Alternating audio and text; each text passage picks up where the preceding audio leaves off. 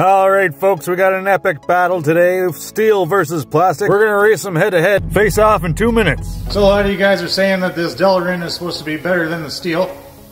Uh, Delrin is just a fancy plastic.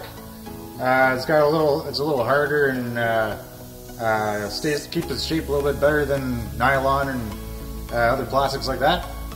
Uh, now this steel here is uh, it's actually a, a, a, few different powdered metals all compressed together and then baked to uh, form this cup, what I call a cup. Uh, the manufacturer calls a bearing, and uh, so there's so they remain porous, and uh, the grease can uh, get into those little pores and keep the wearing surface lubricated.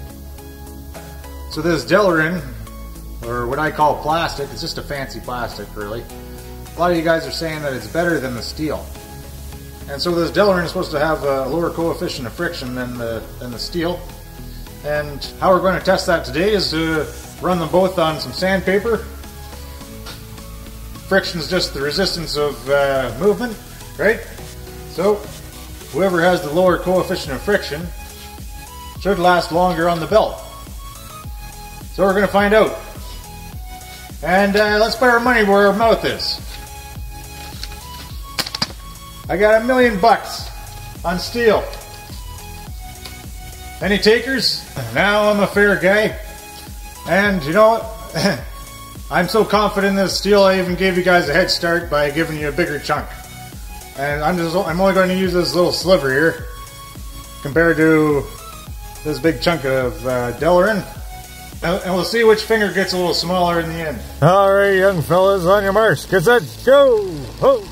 Illegal start. Get back here, plastic. You little son of a gun, you will. Come on now. Oh, there we go. All right, we're back on track now, and here we go. And Steel's off to a fantastic spark, while plastic lolls behind.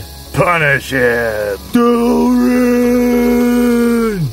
Well, the evidence speaks clearly, folks. The Delrin is significantly smaller than when we started, and the steel is still shining like a star.